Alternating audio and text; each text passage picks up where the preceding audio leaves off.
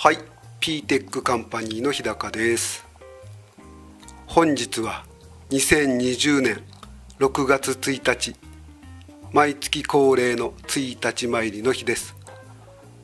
毎月1日の日にお参りをしますと元日の日にお参りをしたのと同じ効果があるそうです。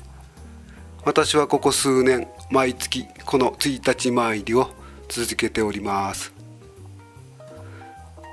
今日はいつもの宮崎神宮ではなく宮崎のパワースポットとして有名な宮崎市淡木ヶ原にあります枝神社へと参拝にやってきました。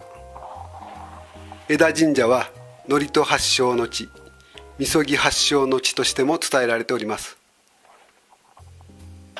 日本最初の夫婦でありますイザナギのことイザナミのことが祀られておりまして良縁を望む参拝者が数多く訪れております。駐車場の方に車を止めまして鳥居をくぐり参道を神殿に向かって進んでいきますと右側にご神木の一つであります大きなクスノキがあります。この木の下の方にコブがありましてコブを撫でると強運にあやかると伝わっております。皆さんがコブを撫でるおかげでピッカピカに光り輝いております。さらに神殿の方に向かいますと工事用のバリケードが立っております。今は何やら工事をしているようです。おかげで神殿までたどり着くことはできませんでした。仮の参拝所が設置してありましてそちらでお参りを済ませました。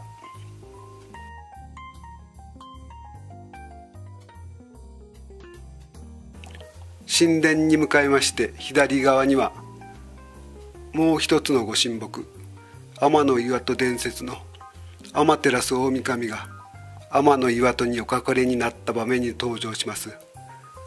雨のうずめが赤い実を手に持って踊ったと伝わっております。小頭の木があります。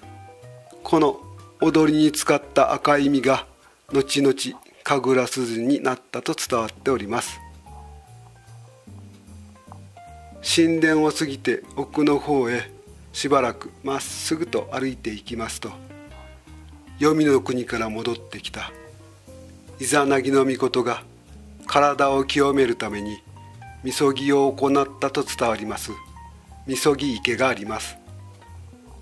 みそぎの際に天照大神つくよみの御事スサノオの御事の山中の神様が誕生しております。